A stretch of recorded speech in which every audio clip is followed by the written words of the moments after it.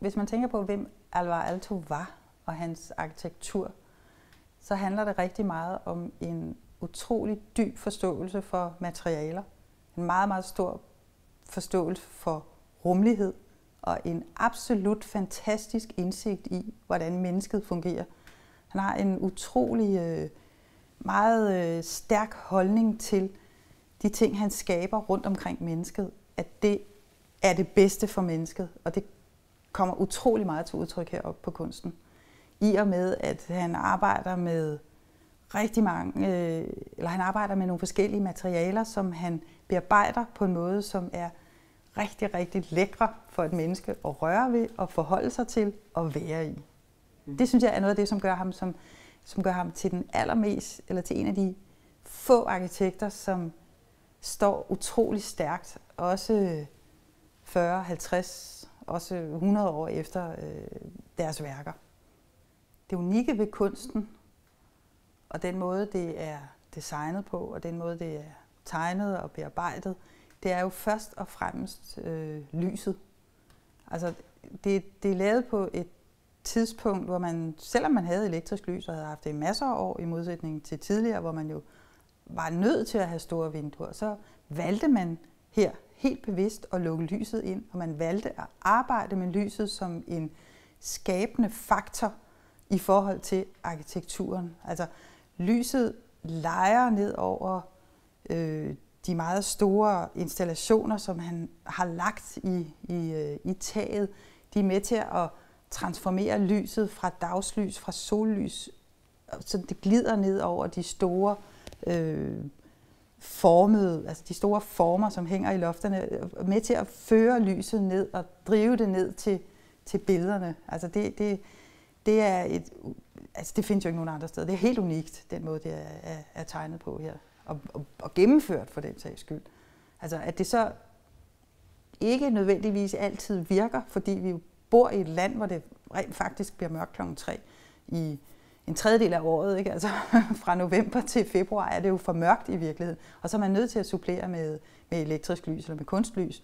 Men, men tanken bag det lys her, det, den er, den er, det er så flot. Den er så flot tænkt, og, og, og, og museet i sig selv er, er jo berømt for det. Altså, hvis man skal være helt grov og som arkitekt være rigtig sådan føre sig selv frem, eller faget som sådan, så er det jo et hus, hvor man altså, som, jeg kan jo sagtens leve uden kunsten her i virkeligheden, fordi, fordi huset i sig selv har så mange kvaliteter. Så, så det fylder rigtig meget. Alto, han er en detaljens mester, og han har sikkert været enormt irriterende at arbejde sammen med, fordi han har simpelthen ikke givet sig en tødel, før, til aller, altså før det er løst på den måde, han gerne vil have. Og det gør jo også, at når man går igennem huset, så er der bare så mange fine ting, som gør, så mange detaljer, som gør, at man har lyst til at røre og mærke og fornemme det, der, det, der ligger bagved. Ikke? Altså, der er nogle fantastiske døre her i det her hus. Der er nogle døre, som er små, unikke arkitektoniske værker øh, hver især. Der er den døren med de runde huller ind til, øh, til, til caféen for eksempel.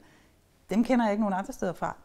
Der er døre til... Altså dørene har deres eget sprog og deres eget liv her i huset. Dørene elsker jeg. Jeg elsker den lille spiraltrappe, som går imellem etagerne her. Forskallingen. Der, jeg har aldrig set så raffineret og så forfinet en forskalling, som er brugt, øh, når man har støbt betonelementerne her på stedet. Der er nogle søjler, som er mange, mange, mange kantet. En moderne fortolkning af de græske kanelerede søjler. Det er, det er lavet med de fineste lister, den fineste forskalling. Det er så raffineret og så elegant. Og det er hele vejen igennem, at hans, hans materialebehandling, den er, den er så ekstravagant og så luksuriøs på en måde, som bare gør, at man har en enorm glæde ved at være her, synes jeg. Det firma, jeg kommer fra, Erik Møller Arkitekter, har jo igennem rigtig, rigtig mange år arbejdet med at restaurere øh, vores bebyggede kulturarv. Den bebyggede kulturarv, det handler om Kronborg, det handler om Amalienborg, det handler om en lang række fredede bygninger. Så vi har en, vi har en god øh, kuffert med værktøj, øh, så vi ved godt, hvordan vi skal tage fat i det, men det handler i allerhøjeste grad om at leve sig ind i det hus. Altså det handler om at gå ind i huset og prøve at fornemme atmosfæren, prøve at fornemme øh, lyde, lugte, dufte, øh, rummeligheden. Det handler om at registrere alle de her ting. Det er det, som er med til at, at gøre, at man forstår, hvilke intentioner ligger der bag det her hus. Altså, der er jo ikke nogen arkitekter, som laver noget, fordi de, de ikke vil, eller de gerne vil lave noget, der er grimt. De, de fleste arkitekter gør sig faktisk rigtig umage med at lave det, og, og løser tingene på den bedst mulige måde, for det på daværende tidspunkt bedst mulige måde. Og det er den, altså det er den indsigt, man skal have oparbejdet. Og det gør man ved at, altså først og fremmest ved at sanse huset, men, men også med at, altså for at gå ind, man gør det også med at gå ind med en hel række registreringsværktøjer.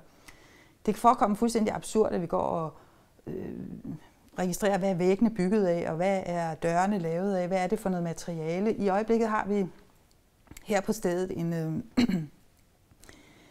er, vi, er vi i en opgave, hvor vi skal prøve at finde ud af, hvordan er hessian stoffet øh, det hør, som er, er, er spændt ud over nogle af udstillingsvæggene, de mobile udstillingsvægge. Hvad er det for noget hør? Hvor kommer det fra? Hvad er det lavet? Eller hvordan er det lavet? Øh, hvem har lavet det? Findes det endnu? De der ting er vi nødt til at bore os ned i. Det handler rigtig, rigtig meget om at komme bag ved tingene. Fordi alting er jo i princippet fredet, når man har med sådan et hus at gøre. I gamle dage var der noget, der hed en facadefredning, og så var der det, der hed en fuld fredning. Ikke? Det her, vi handler, i dag, der er alt fredet. I princippet så er hvad skal man sige, gipspladerne her, som bestemt ikke er noget øh, yndigt syn, de er fredet, og øh, de her øh, parketgulv, som er lagt i en eller anden øh, sammenhæng, er også fredet. Men, men, og vi er nødt til at forholde os til det som et, som et element i huset.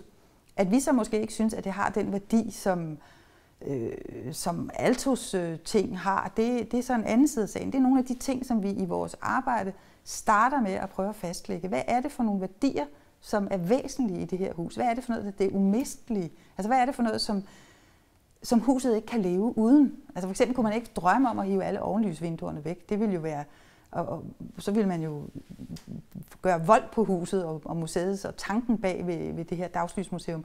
Men man kunne måske godt øh, begynde at overveje at pille det her parketgulv af, fordi det knirker, og det er irriterende og faktisk ikke særlig pænt, og, og også ved at være lidt slidt og sådan noget. Så det kan man sagtens argumentere for at flytte.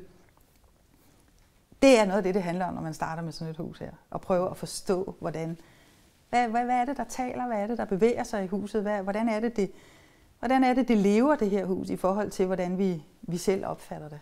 Hvis man skal tænke på Alto som, som arkitekt og menneske, hvad var det så, eller hvad er det så, som er så fascinerende ved ham? Og for mig, der handler det om, at han har en utrolig forståelse for den menneskelige natur, og en meget stor forståelse for, hvordan man som menneske har det i det hus, man er. Og der tænker jeg især på en historie, han, han, han byggede, eller han vandt og byggede som ganske ung menneske. Jeg tror, han var, han var ikke fyldt 30 endnu. Der tegnede han et kæmpestort sanatorie, tuberkulosesanatorie, altså før øh, midt imellem 1. og 2. verdenskrig, i Finland, Paimio.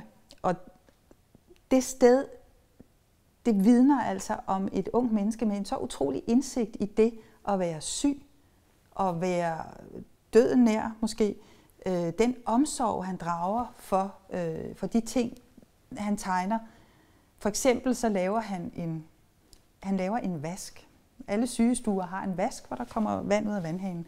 Vasken er designet og sat op i forhold til vandhanen, sådan så når vandet løber, så larmer det ikke. Det generer ikke den syge. Jeg synes, når man er 27 år, er det helt utroligt, at man har en så rig tankeforståelse for, hvad der sker øh, i et menneske, som opholder sig i et rum. Og jeg vil mene, at han, den, den evne har han jo med sig i alle sine byggerier. Det er klart, at jo mere han bygger, og jo større byggerier, jo mere komplekse de bliver, jo sværere bliver det måske også at komme ud i krogene. Men, men jeg synes, at lige netop her på kunsten, der, der, har han også der har han fået det med sig. Mange, altså de allerfleste steder, det er jo en fornøjelse bare at åbne en dør, ikke? fordi dørhåndtaget er, har den rigtige øh, tykkelse i forhold til hænder. Altså, det er ikke for tyndt, og det er ikke for tykt og sådan noget. Man får lige godt fat om det. Ikke? Lyset er jo et kapitel for sig heroppe. Ikke bare dagslyset, men også øh, alle de lamper, han har designet heroppe. Det er jo en ekstravagance simpelthen af, af mm, tanker og idéer til nye lamper på lampe på lampe. Altså, den, den, altså den kreativitet og den omtanke, han viser, det, det er meget, meget langt fra det nogle gange lidt negative billede, man kan få af arkitekter, som sådan nogle lidt åndshovmodige, nogen, der bare laver tingene, fordi det skal se godt ud. Han formår simpelthen at putte noget ind imellem væggene også, som gør, at det er interessant. Hans det er ikke bare noget, der synes. Det er ikke arkitektur, der bare ser ud. Hans arkitektur er også. Det har et indhold, altså en dybde, som, som øh, jeg har utrolig stor respekt for.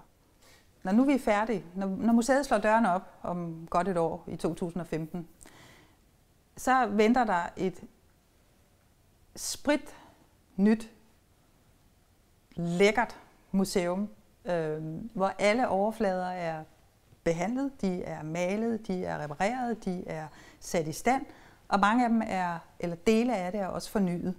Det er særdeleshed i underetagen i parterren, hvor vi laver et, øh, et helt nyt udstillingslokale, som gør, at man som øh, museumsdirektør kan få opfyldt alle sine drømme om at udstille i det knidningsløse rum, kan man nærmest sige. Det helt sorte, mørke rum, hvor der ikke er ret meget modstand i virkeligheden. Øhm, der er ikke så mange ting, man skal forholde sig til. Det er jo vores udfordring som sådan i hele huset. Det er jo i virkeligheden, at vi skal, vi skal forholde os til alting. Vi har nogle, øh, vi har nogle rammer, kan man sige, når man tænker positivt, og man får det hele til at gå op. Vi har nogle enorme begrænsninger. Det er, når man ikke kan få tingene til at lykkes, så bliver det bare enormt irriterende.